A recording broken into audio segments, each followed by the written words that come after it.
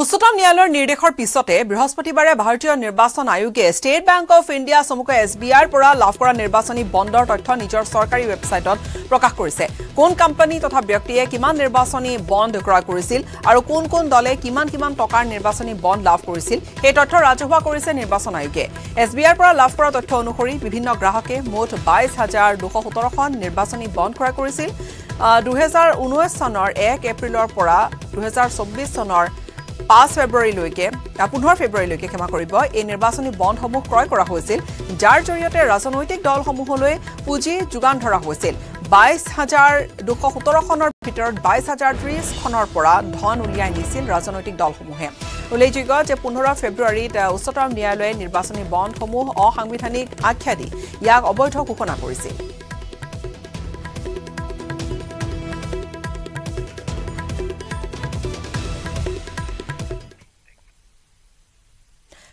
নিৰ্বাচনৰ দিন চমু চাপি অহাৰ লগে লগে বিৰোধী ঐক্য মঞ্চৰ মাজত বৃদ্ধি পাইছে দূৰত্ব। কংগ্ৰেছৰ প্ৰকাশিত যিখন প্ৰাৰ্থী তালিকা সেই প্ৰাৰ্থী তালিকাক মানি ল'ব পৰা নাই বিৰোধী ঐক্য মঞ্চৰ অন্যতম দল ভাৰতীয় কমিউনিষ্ট পাৰ্টীয়ে। চি পি আই আৰু এই চি পি আইয়ে বিচৰা এটা সমষ্টিৰ কংগ্ৰেছে এৰি নিদিয়াত ক্ষোভ প্ৰকাশ কৰিছে চি পি আইৰ ৰাজ্যিক সম্পাদক কনক গগৈসহ সতীৰ্থসকলে। এই ক্ষেত্ৰত কংগ্ৰেছক পুনৰ বিবেচনাৰ আহ্বানো কৰিছে চি পি আই নেতৃত্বই। এই সন্দৰ্ভত শিৱসাগৰৰ আমাৰ সাংবাদিক প্ৰদীপ গগৈৰ এক ৰিপৰ্ট আগবঢ়াম হয়। কংগ্ৰেছে প্ৰাৰ্থীৰ তালিকা প্ৰকাশ কৰাৰ পিছৰ পৰা এটা প্ৰশ্ন উত্থাপন হৈছে সেয়া হৈছে বিৰোধী ঐক্যমঞ্চত ফাট মেলিছে নেকি? কাৰণ কংগ্ৰেছে অসমৰ চৈধ্যটা লোকসভা সমষ্টিৰ বাৰটাতে প্ৰাৰ্থী প্ৰক্ষেপ কৰিছে আৰু ইয়াকে লৈ বৰ্তমান খৰ্গগ্ৰস্ত হৈ পৰিছে বিৰোধী ঐক্যমঞ্চত সংযুক্ত হৈ থকা একাংশ একাধিক ৰাজনৈতিক দল। ইয়াৰ ভিতৰত অন্যতম হৈছে চি পি আই দল আৰু এই C P I C P আইৰ ৰাজ্যিক সম্পাদক সহ একাংশ বিষয়ববীয়া মোৰ কাষত বৰ্তমান আছে। ৰাজ্যিক সম্পাদক কনক গগৈ আছে। মই তেওঁলোকৰ পৰা পোনে পোনে জানিব বিচাৰিম। আপোনালোকে এই তালিকাক লৈ কিমান সন্তুষ্ট? নিশ্চিতভাৱে এই তালিকাক লৈ আমি সন্তুষ্ট নহয়।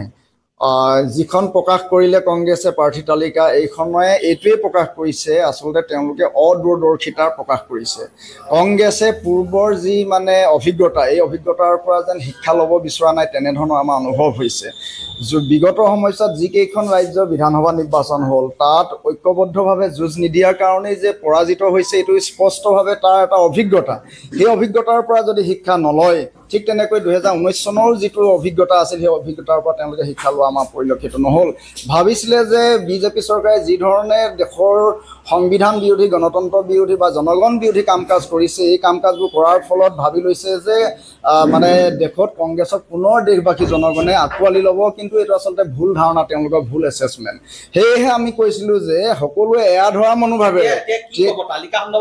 তালিকা সম্পৰ্কত সেইকাৰণে কৈছোঁ আমি এতিয়াও আশাবাদী। আমি এতিয়াও আশাবাদী চাওক আপোনালোকে যে আমি কংগ্ৰেছ দল কৰা নাই। আমি কমিউনিষ্ট দল কৰিছোঁ চি পি আই কৰিছোঁ। চি পি আই দল কৰিছোঁ আমাৰ নিজস্বতা বুলি বুলি কিবা কথা আছে। আমাৰ অহা কালিলৈ আমি যোৰহাট লখিমপুৰ আৰু মানে কাজিৰঙা আমি বিচাৰিছিলো। ঠিক তেনেকৈ চি পি এমে বিচাৰিছিলে বৰপেটা। যোৰহাটত যদি গৌৰৱ গগৈ উঠে আপোনালোকে সহমতত উপনীত হ'ব বুলি কৈছিলে। আমি ষ্টেটত এইটো আমি ডিচিশ্যন কৰিছিলোঁ আৰু এই ডিচিশ্যনটো আমি নেশ্যনেল লেভেললৈ আমি প্ৰেৰণ কৰিছিলোঁ। গতিকে এই কথাটো আছে কিন্তু এতিয়া ৰাষ্ট্ৰীয় নেতৃত্বই অহা পৰহিলৈ পোন্ধৰ তাৰিখে আমাৰ ৰাষ্ট্ৰীয় এক্সিকিউটিভ মানে কাৰ্যনিৰ্বাহকৰ সভা আছে এই সভাই যি সিদ্ধান্ত কৰি যি নিৰ্দেশনা দিব সেই নিৰ্দেশনাই আমি মানিম। এইটো কোনো পোন্ধৰ মাৰ্চত আছে। সেইটো যি যি নিৰ্দেশনা দিব সেইটোৱে মানিম। এতিয়া কংগ্ৰেছে এইটো কৰিব লাগিছিলে বৰপেটাটো এৰিব লাগিছিলে চি পি এমক। ঠিক তেনেকৈ আমাৰ কাৰণে হয় লখিমপুৰ নহয় কাজিৰঙা কোনোবা এটা দিব লাগিছিলে। আমিতো সেইটো কণ্ডিশ্যনহে দিছিলোঁ। যদি গৌৰৱ গগৈ হয় তেতিয়াহ'লে যিকোনো এটা আমাৰ কাৰণে ৰাখক। এইটো আমি কৈছিলোঁ। গতিকে এইটোতো এতিয়া দেখা পোৱা নগ'ল। গতিকে লৈ নিশ্চিতভাৱে অসন্তুষ্টি আছে থাকিব। তেজপুৰ সমষ্টিত বা শোণিতপুৰ সমষ্টিত তুংগত এতিয়া নিৰ্বাচনী প্ৰতিটো ৰাজনৈতিক দলৰ প্ৰচাৰ অভিযান। নিৰ্বাচনী প্ৰচাৰৰ মাজতে তেজপুৰ সমষ্টিৰ আম আদমী পাৰ্টীৰ প্ৰাৰ্থী ঋষিৰাজ কণ্ডিনৰ কঠোৰ সমালোচনা কৰিছে। ৰঙাপাৰা সমষ্টিৰ বিজেপি বিধায়ক কৃষ্ণকমল তাঁতীয়ে। আপৰ প্ৰাৰ্থীজনক কটাক্ষ কৰি বিধায়কগৰাকীয়ে কয় যে আম আদমী পাৰ্টীয়ে এজন অপৰাধীক টিকট দিছে আৰু শোণিতপুৰবাসীৰ ৰাইজে কোনো কাৰণতে এজন অপৰাধীক ভোট নিদিয়ে। শোণিতপুৰত এজনো ভাল ব্যক্তি নাই নেকি এজন অপৰাধীকহে টিকেট দিবলৈ কাৰণে তেওঁলোকে চেষ্টা কৰিলে আৰু সেই অপৰাধীজনো ইমান দম্ভ মাৰি পেলাই ৰাইজৰ মাজত আকৌ চলি আছে। সেই হেণ্ডকাপ লগোৱা ফটোখন লৈ পেলাই। মই ভাবোঁ আমাৰ যদি তেনেকুৱা কাৰোবাৰ মই ভাবোঁ এজন ব্যক্তিৰ তেনেকুৱা যদি ক'ৰবাত হেণ্ডকাপ লগোৱা ফটো থাকিলে নিশ্চিতভাৱে তেওঁ জনসমাগমলৈ নাযাব। কিন্তু এই আপৰ যিজন প্ৰাৰ্থী মই নাজানো তেখেতক ব্যক্তিগতভাৱে কিন্তু এখন ফটো দেখিলোঁ মই এজনক সুধিলোঁ এইজন কোন? তেওঁ ক'লে যে এইজনেই আপৰ লোকসভাৰ প্ৰাৰ্থী।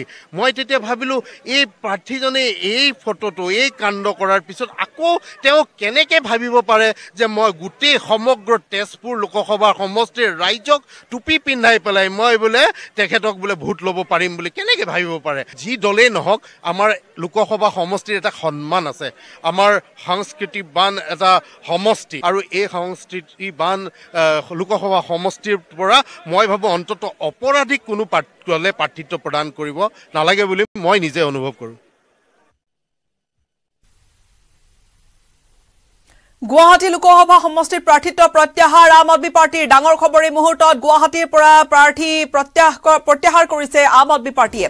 সভাপতি ডাঃ ভৱেন চৌধুৰীয়ে প্ৰতিদ্বন্দ্বিতা নকৰে গুৱাহাটী সমষ্টিত। ইয়াৰ বিপৰীতে ডিব্ৰুগড় আৰু শোণিতপুৰ সমষ্টিত আপক এৰি দিবলৈ দাবী। গুৱাহাটীত সংবাদমেল পাতি ঘোষণা কৰিছে সভাপতি ভৱেন চৌধুৰীয়ে।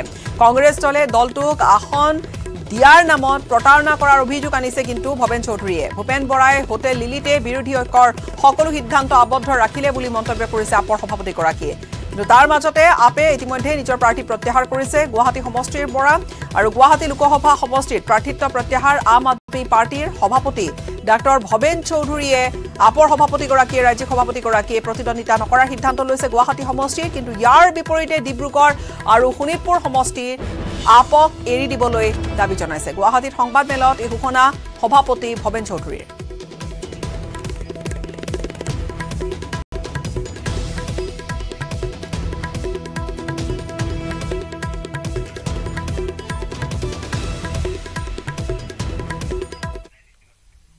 আৰু মুখ্যমন্ত্ৰীৰ বিকাশ যাত্ৰা আজি হোজাইত পোনে পোনে অনুষ্ঠানলৈ লৈ গৈছো।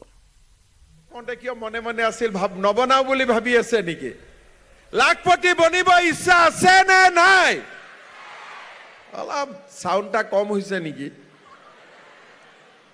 লাখপতি বনিব ইচ্ছা আছে নে নাই? আচ্ছা এতিয়া কেনেকে লাখপতি বনিম এইটো মই কৈ আছো।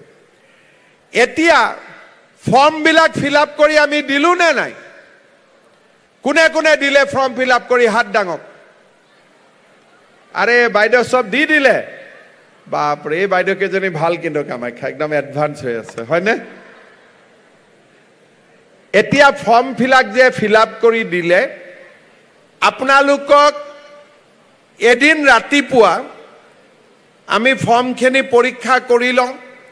পৰীক্ষা কৰাৰ পিছত একদিন ৰাতিপুৱা আপোনালোকৰ মোবাইলত মেছেজ আহিব টুং টুং আৰু সেইদিনাখনে আপোনালোকৰ বেংক একাউণ্টত টপং কৰি দহ হাজাৰ টকা সোমাই যাব। ঠিক আছে?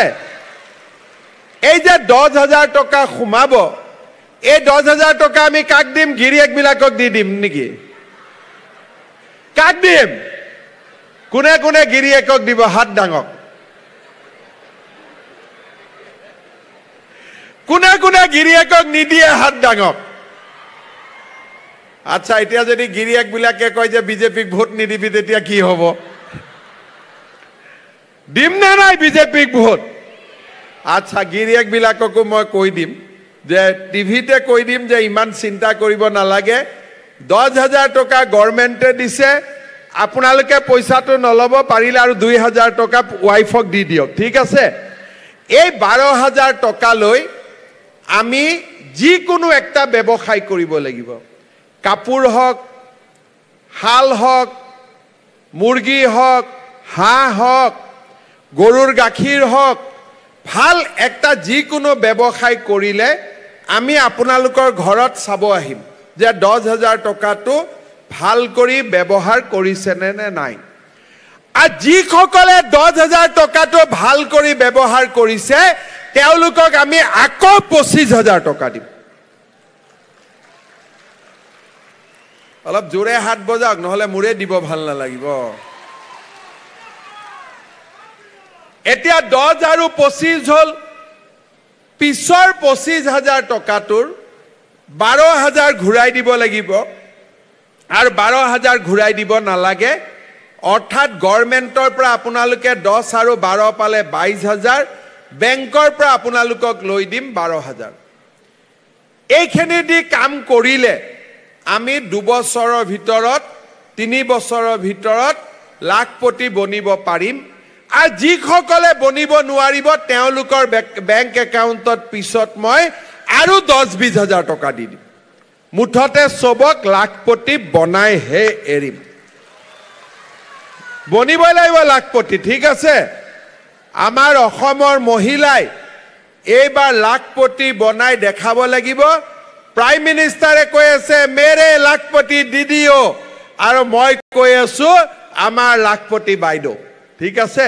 হিন্দীত দিদি হৈ গ'ল অসমীয়াত বাইদেউ হৈ গ'ল। এতিয়া আপোনালোকক মই আৰু এটা কথা ক'ব খুজিছোঁ। আমাৰ এতিয়া মেট্ৰিক পৰীক্ষা হৈ গ'ল। মেট্ৰিক পৰীক্ষাৰ ৰিজাল্টৰ পিছত আমাৰ ৰিজাল্ট দিব। ছোৱালীবিলাকে মেট্ৰিকত বহুত পাছ কৰে। কিন্তু কলেজত ছোৱালীবিলাক নাযায়। যে দেউতাক মাকে ভাবে যে ইমান খৰচা ছোৱালীৰ ওপৰত উঠাই কি লাভ হ'ব আমি তাক বিয়া দি দিওঁ। আগতেতো বাচ্ছাতে বিয়া দি দিছিল এতিয়া অলপ অলপ গভৰ্ণমেণ্টৰ ভয়ত অলপ ৰখিছে হয়নে? অলপ ৰখিছে নে নাই এতিয়া বাচ্ছা বিয়া দিয়াটো? আচ্ছা।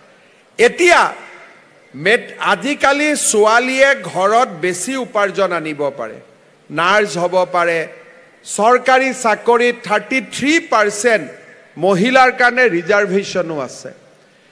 সেইকাৰণে এইবাৰ আমি ঠিক কৰিছোঁ যে ছোৱালীবিলাকক আমি যেনে তেনে কলেজলৈকে আনিব লাগিব।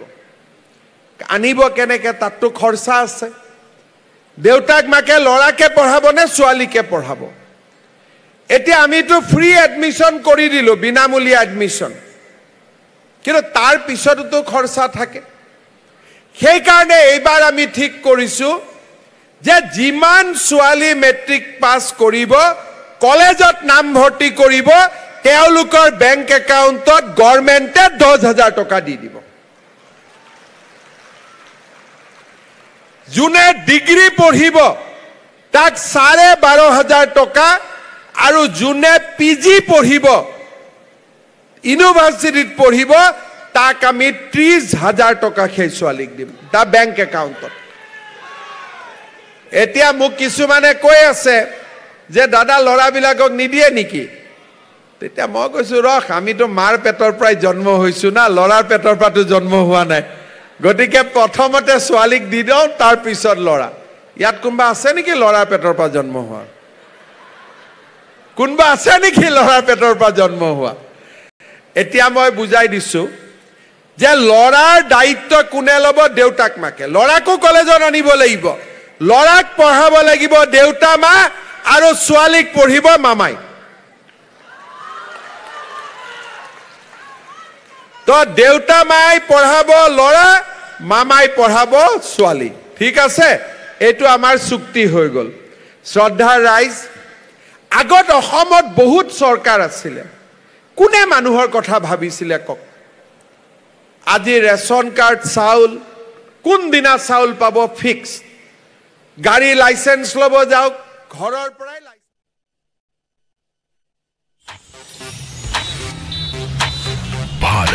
is rising.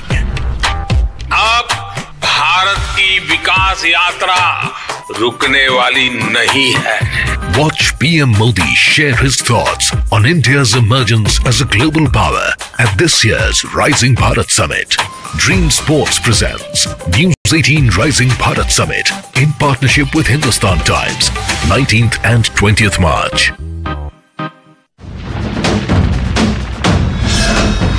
ভাৰতৰ গৌৰৱ গোটেই বিশ্বত।